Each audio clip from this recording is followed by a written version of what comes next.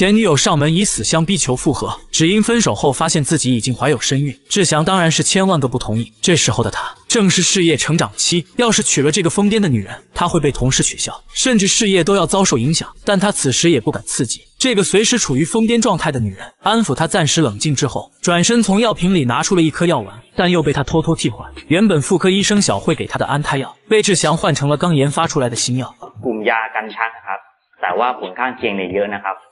และข้อสำคัญเนี่ย คนท้องนี่ห้ามกินยาตัวนี้นะครับ